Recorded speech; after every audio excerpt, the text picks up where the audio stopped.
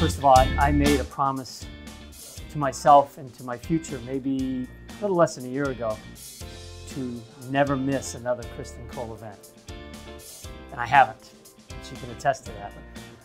Um, every speaker that's been on up front from yesterday to today, it just, wow, it just keeps coming.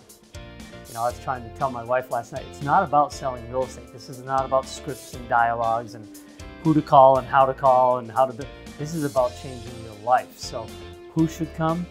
Um, a, a, brand new agent. I wish more brand new agents were here because this will just um, launch them faster than me. I mean, my journey, it's been 33 years. I'm glad I'm here, okay? Um, I wish I had discovered it at 28, but it's okay. We're here now, and that's what's important. Um, who should be here? An experienced agent who maybe is just kind of grinding it out and doesn't see any difference. You know, the last 10 years, you, you know, you do what you've always done, you're going to get what you've always got. And okay, so come here, learn some things, change your behaviors, change your beliefs, and guess what? Now you'll get different results. So even the, the old dogs or, or old doggies, you, know, you can learn new tricks, but you got to get into an environment where the new tricks are being exposed.